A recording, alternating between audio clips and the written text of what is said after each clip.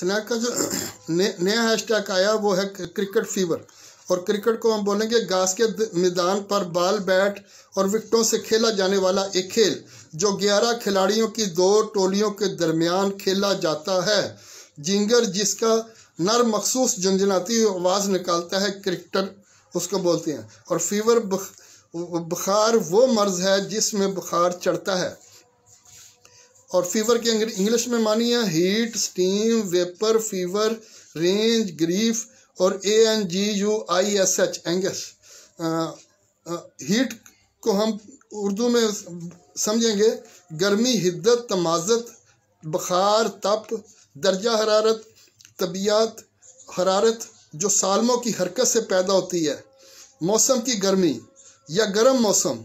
गर्म जोशी, दिली जज्बा, हेजान।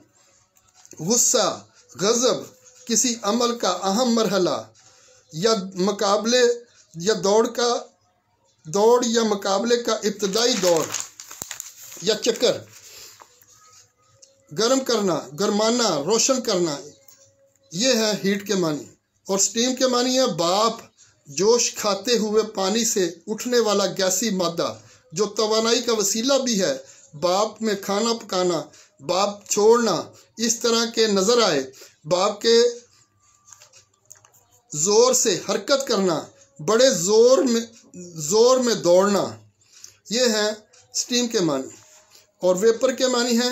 बुखारात धुंध धुआँ, बाप, किसी ऐसी चीज़ की गैसी शक्ल जो आम तौर पर सियाल और ठोस हो। जिस तरह बर्फ़ पड़ी होती तो आपने देखा होगा कि उसमें से धुआँ वगैरह निकलता है, यानी कि वो वो ठोस चीज़ में से जो जो वेपर्स वगैरह निकलती है जो बाप होती है, उसको हम वेपर बोलेंगे।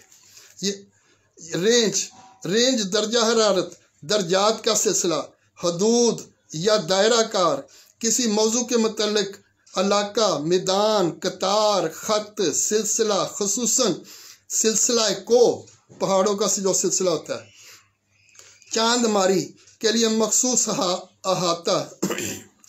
वो फासला जो कोई गाड़ी या त्यारा एक दफ़ा ईंधन भरवाने के बाद तय कर सके। मैदान या चरागा, बाज हदूद के दरमियान ओलते बदलते रहना किसी ख़ास तरकीब से कतारों में या दर्जों में बांटना या मकर करना, बेमकसद घूमना, फिरना, ये है रेंज के मानी। और ग्रीफ को बोलेंगे गहरा रंज हद हद दर्जे गम, सोग, कम टू।